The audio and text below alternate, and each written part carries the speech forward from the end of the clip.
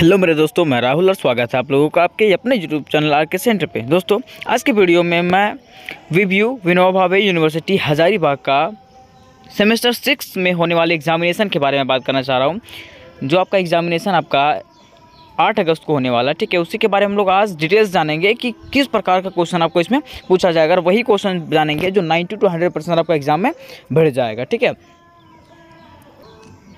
तो आज का वीडियो आपको मिस नहीं करना है, ठीक है? क्योंकि अगर अभी मिस किए हैं तो सेमेस्टर सिक्स आपका पूरा खराब हो गया। क्योंकि यही आपका जो क्वेश्चन है, जिसमें से चार पाँच क्वेश्चन आपको बताया जा रहा है यही क्वेश्चन आपका पूरा एग्ज़ाम में से आ जाएगा, ठीक है? यही क्वेश्चन आपको पढ़ के भी जाना है। और देखिए, ये क्वेश्चन मैं खुद से नहीं बता रहा हूँ, ये क्वेश्चन जो आपका सिलेबस के अनुसार बताया जा रहा है, और चार पाँच पाँच ही क्वेश्चन आपको छाट के दिया जा रहा है उसमें, और पाँच क्वेश्चन आप पढ़िए कि आपका पूरा सेमेस्टर सिक्स खत्म। ये सेमेस्टर सिक्स का जो कोर कोर थर्टीन है, वो पूरा खत्म। कोर थर्टीन आपका पूरा पूरा पूरा का पूरा कंप्लीट हो जाएगा। लेकिन इतना पढ़ेंगे तब। नहीं तो फिर आपको दिक्कत होगा, बड़ा दिक्कत होगा, क्योंकि ये लास्ट सेमेस्टर है, और लास्ट सेमेस्टर में अगर बढ़िया से नहीं पढ़िएगा, फिर आपको तकलीफ़ हो जाएगा। तो चलिए जानते हैं कि किस प्रकार का आपका क्वेश्चन सिलेबस में था और ये बिल्कुल तो बिल्कुल आपका मैचिंग है सिलेबस से, ठीक है? जो आपका सिलेबस में है, क्योंकि मान लीजिए देखिए, अगर आपको कोई क्वेश्चन दे दिया जाता है, ठीक है? मैं अपना इंपॉर्टेंट क्वेश्चन तो वो भी बताऊँगा लास्ट में बताऊँगा, ठीक है? लेकिन इसमें जो है सिलेबस के बारे में बताएँगे। मान लीजिए अगर हम क्वेश्चन दे देते हैं, ठीक है? और वो क्वेश्चन हो सकता है आपको नहीं मिलेगा, ठीक है? लेकिन सिलेबस तो क्वेश्चन आएगा ना, सिलेबस में जो क्वेश्चन दिया हुआ आपका, वो क्वेश्चन तो ज़रूर मिलेगा। तो चलिए जानते हैं क्वेश्चन कि आपका सिलेबस में किस प्रकार से क्वेश्चन था। देखिए, आपका सिलेबस में जो दिया हुआ ये क्वेश्चन है, चार पाँच क्वेश्चन आपको इतना पढ़ना बाकी आपका सारा का सारा कंप्लीट हो जाएगा। इस पर जो है, सारा का सारा क्वेश्चन आपको बता दिया गया। चाहे वो लॉन्ग क्वेश्चन हो, चाहे वो फाइव मार्क्स का क्वेश्चन हो, सारा का सारा आपको बता दिया गया है। तो बस इतना पढ़ना है, आपका सेमेस्टर सिक्स का कोर थर्टीन कंप्लीट ठीक है? देखिए, इसमें पहला क्या पढ़ना आपको? संयुक्त राष्ट्र संघ का निर्माण उद्देश्य और संगठन की संयुक्त राष्ट्र संघ का जो निर्माण हुआ था, किस प्रकार से हुआ था, उसका उद्देश्य क्या है उसका संगठन कि किस प्रकार से उसका संगठन किया गया, ठीक है? फिर ये तो आपका पहला है, ठीक है? और ये आपको इंपॉर्टेंट क्वेश्चन में भी बताया जाएगा, लेकिन इंपॉर्टेंट क्वेश्चन अभी इसके बाद जो है मैं आपको इंपॉर्टेंट क्वेश्चन बताया जाना, बताऊँगा, ठीक है? कि कौन सा क्वेश्चन आप लोगों को पढ़ के जाना ये तो सिलेबस के अनुसार है।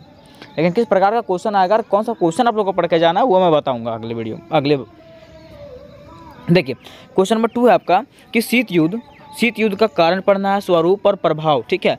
आपको शीत युद्ध के बारे में पढ़ लेना मतलब पहला आप कर लीजिए संयुक्त संघ, ठीक है? दूसरा आपको करना है शीत युद्ध के बारे में, ठीक है? फिर तीसरा आपको तेल राजनीति के बारे में पढ़ना, किसके बारे में? तेल राजनीति के बारे में पढ़ना, तेल राजनीति के बारे में अगर आप पढ़ लेते हैं तो ये आपका पूरा का पूरा कंप्लीट हो जाता है, ठीक है? फिर आगे है उदारीकरण उदारीकरण पढ़ना, रंगभेद नीति पढ़ना है दक्षिण अफ्रीका का जो महिला आंदोलन था, रंगभेद नीति जो था, इसके बारे में पढ़ लेना, ठीक है? फिर आगे है समकालीन विश्व में आपका जो अंतरिक्ष का खोज हुआ था, संचार क्रांति, ठीक है? इसके बारे में आपको पढ़ना है, ठीक है? मीन्स आपको यही चार बताया गया है कि आपको संयुक्त राष्ट्र पढ़ना है, संयुक्त राष्ट्र संघ के बारे में पढ़ना है, शीत युद्ध के बारे में पढ़ना है, तेल राजनीति के बारे में पढ़ना रंगभेद नीति के बारे में पढ़ना, महिला आंदोलन के बारे में पढ़ना है, और उसके साथ साथ एक संचार क्रांति है, उसके बारे में पढ़ लीजिए, ठीक है?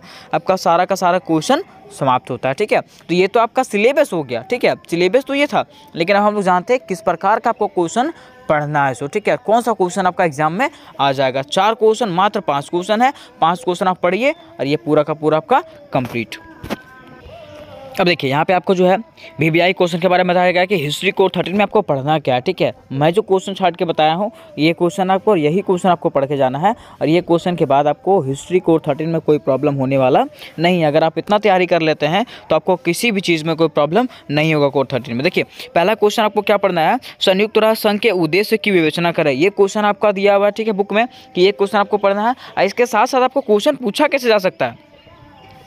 कि संयुक्त राष्ट्र संघ का निर्माण इतिहास, उद्देश्य तथा इसके प्रमुख अंगों का वर्णन करें। कि संयुक्त राष्ट्र संघ का निर्माण किस प्रकार से हुआ था, इसका इतिहास क्या था, इसका उद्देश्य क्या था, तथा इसके प्रमुख अंग क्या क्या था, ठीक है? इसको घुमा के पूछ सकता है क्वेश्चन आपको, ठीक है? ये सेमेस्टर सिक्स है तो प्रॉब्लम करेगा ही, थोड़ा बहुत प्रॉब्लम करेगा तो उसमें आपको फंसना नहीं है। वो फंसाएगा, लेकिन फंसना नहीं है। आपको हर एक क्वेश्चन को बेटर तरीके से आंसर देना है।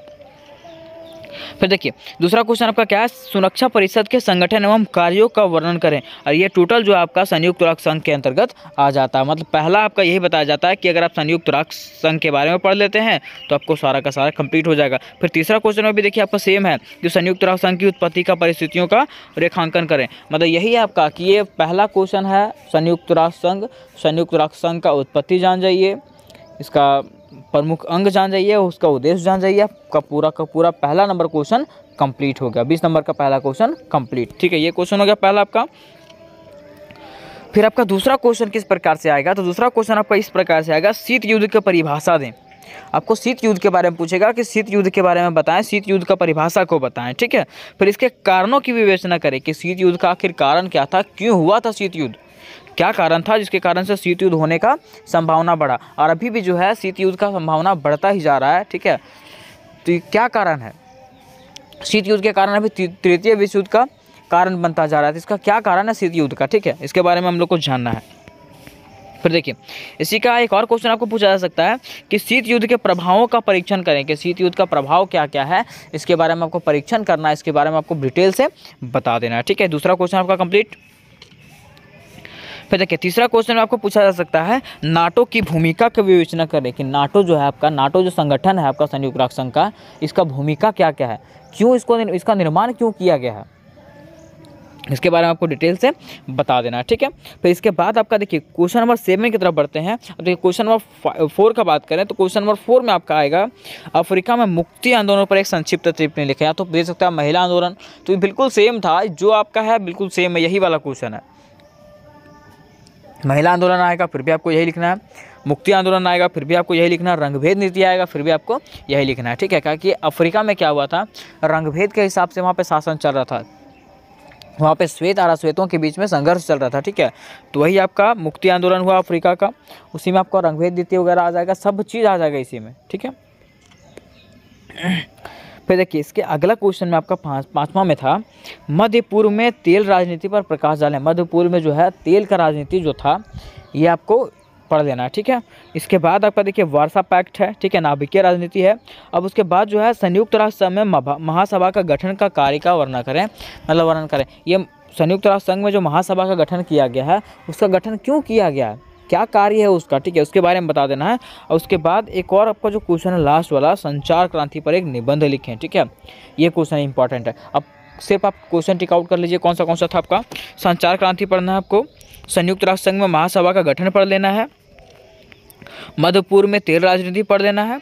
अफ्रीका का मुक्ति आंदोलन पढ़ लेना है। नाटो की भूमिका पढ़ना है। शीत युद्ध के बारे में पढ़ लेना है। और संयुक्त राष्ट्र के बारे में पढ़ लेना संयुक्त राष्ट्र का उद्देश्य निर्माण और इतिहास के बारे में पढ़ लेना, उसके बाद ये सारा का सारा खत्म, ठीक है? अब देखिए, आप लोग को पहुँचना कैसे है वहाँ पे? इसका जो है सारा का सारा वीडियो बना दिया गया है, ठीक है? आप लोग को पहुँचना कैसे है वहाँ पर तो क्या करना आप लोगों को? सबसे पहले आप लोग यूट्यूब पर जाइए। पहले यूट्यूब पर आएँगे यूट्यूब पर आने के बाद क्या कर सर्च करेंगे आपका? आर के सेंटर सर्च करेंगे, ठीक है? ठीक है? जैसे आर के सेंटर सर्च करेंगे, आपका पहला में आपका चैनल खुल जाएगा। पहला में चैनल पे क्लिक करने के बाद आपका क्या हो जाएगा? आपका देखिए, यहाँ पे मैनेज वीडियोज़ में आइएगा, ठीक है? अब यहाँ पे देखिए होम आ गया वीडियोज़ आएगा प्लेलिस्ट आ गया। आपको प्लेलिस्ट पे जाना है, ठीक है? अब प्लेलिस्ट पे आप जैसे जाइएगा, देखिए प्लेलिस्ट के नीचे में जो है आपका डीएससी पेपर थर्ड का भी क्वेश्चन बना दिया गया जी इकोनॉमिक्स का बनाया गया, ठीक है? आपका देखिए semester six history core fourteen का बना दिया गया है। और उसके बाद जो है, आपका कोर थर्टीन का भी इसमें मिल जाएगा। देखिए review semester third semester six history core thirteen का दस क्वेश्चन आपका बना दिया गया, ठीक है? जिसमें से ये पाँचों इंपॉर्टेंट क्वेश्चन के बारे में उसमें बेटर तरीके से डील किया गया। अगर आप उसको पढ़ लेते हैं तो आपका एग्ज़ाम में कोई दिक्कत नहीं होने वाला है ठीक है? तो यहाँ तक आपको देखिए, अगर इसको हम लोग क्लिक करेंगे तो यहाँ पर आपका सारा वीडियोज़ यहाँ पे दिख दिख जाएगा, देखिए। शीत युद्ध के बारे में हम लोग को बता दिया गया है, ठीक है? फिर आपका संयुक्त राष्ट्र संघ का उद्देश्य का व्याख्या करें, इसके बारे में आपको टोटल बता दिया गया है। नाटो की भूमिका के बारे में बता दिया गया, अफ्रीका के मुक्ति आंदोलन के बारे में बताया गया, ठीक है?